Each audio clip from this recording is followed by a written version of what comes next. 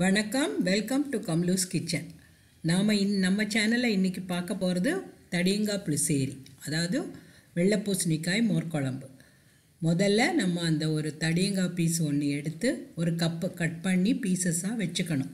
அதை ஒரு சீஞ்சட்டியில் போட்டு கொஞ்சம் தண்ணி கொஞ்சம் உப்பு போட்டு வேக வைக்கணும். நல்லா வெந்ததுக்கு அப்புறமா நம்ம அரைக்க வேண்டியதை எடுத்து அரைக்கிற மசாலாவை எடுத்து அரைக்கலாம். ஸோ நாலு பச்சை மிளகாய் அவங்கவுங்க காரத்துக்கு தகுந்த மாதிரி போட்டுக்கலாம்.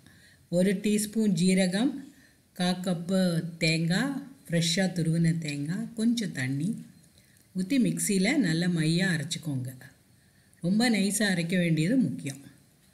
அதுக்கப்புறமா நம்ம அந்த வெந்த பூசணிக்காயில் இந்த அரைச்ச மசாலாவை அதில் போட்டு கொஞ்சம் தேவையான தண்ணியும் ஊற்றிக்கலாம் இந்த புளிசேரி வந்து ரொம்ப கட்டியாக இருக்காது. ஏன்னா நம்ம தே அரிசியோ கடலை பருப்போ அரைச்சி போட போகிறது இல்லை இப்போ அரைச்ச தேங்காய் பேஸ்ட்டை அந்த வெந்த பூசணிக்காயில் ஊற்றி ஒரு நிமிஷம் கொதிக்க விடணும்.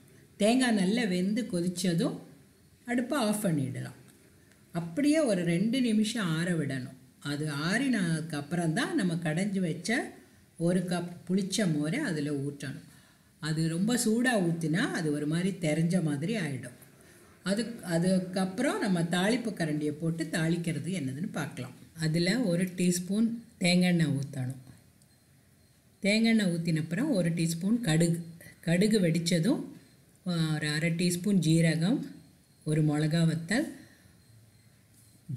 ஒரு டீஸ்பூன் கருவேப்பிலை இதெல்லாம் போட்டு பொரித்து தாளிக்கணும். அது நல்லா பொரிஞ்சதுக்கப்புறமா அதை எடுத்து நம்ம செஞ்சு வச்ச மோர் குழம்புல கொட்டி வச்சிடலாம்.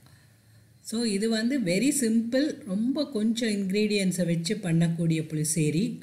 அண்ட் அதில் தடியங்காய் சேர்க்கும்போது ரொம்ப டேஸ்ட்டாக இருக்கும். தடியங்காய் இல்லைன்னா வெள்ளரிக்காய் கூட நீங்கள் சேர்த்துக்கலாம்.